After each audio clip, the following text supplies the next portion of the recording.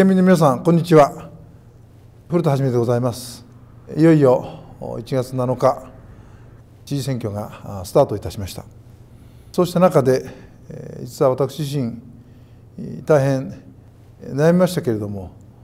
苦渋の決断を思い切ってさせていただきました。まあそれはこのコロナ禍の中で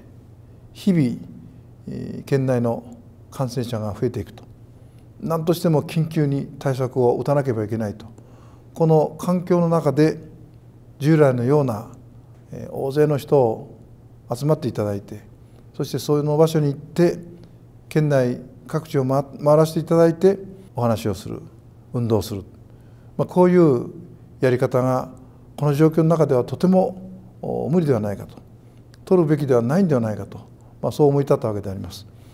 もともと選挙っていうのは人にお集まりいただいて広くお訴えをするというのが選挙でありますけれどもむしろ今回は県民の皆様の命を守るということを最優先しながらどういうふうに私の気持ちをお伝えしたらいいかそういう悩みながらの選挙になるんではないかとこんなふうに思っております。ということでまずは私自身大きな集会を催さないまたそういう場に出かけないとむしろ県民の皆様の命を守るということを最優先して県庁で職務に専念すると。コロナ対策にまずは専念すると。こういう選択をさせていただきました。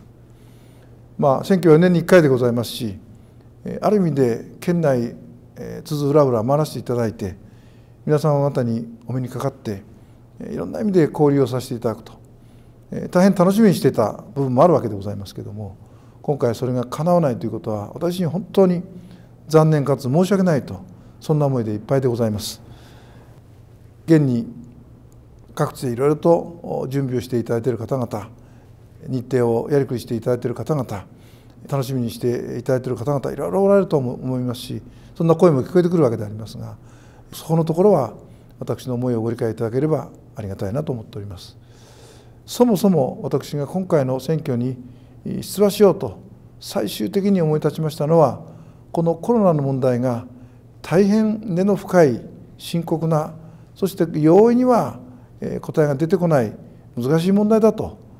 これを皆さん方と一緒になんとか乗り切ってきている中でまだまだ第3波先が見えないとこんな時に職場を離れていいんだろうかとぜひ引き続き皆さん方と一緒に答えを出していきたいと乗り越えていきたいとそんな思いで出馬した次第でございますからこの緊急事態の中では当然その思いを遂げるという意味では職場で緊急対策に徹するということにせざるを得ないんではないかと、まあ、こんな決意をした次第でございます。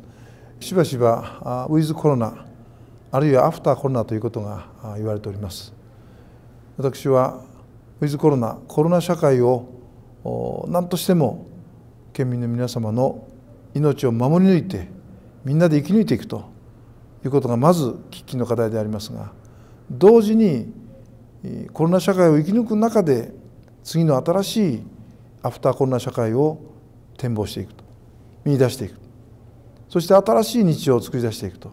いうことも合わせて考えていかなければならないんではないかというふうに思っております。17日間という、まあ、選挙の間でございますし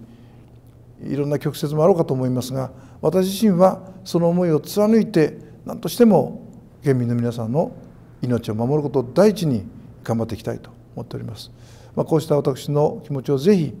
皆さん方にもお汲み取りいただければ大変幸いに存じます。どうかよろしくお願い申し上げます。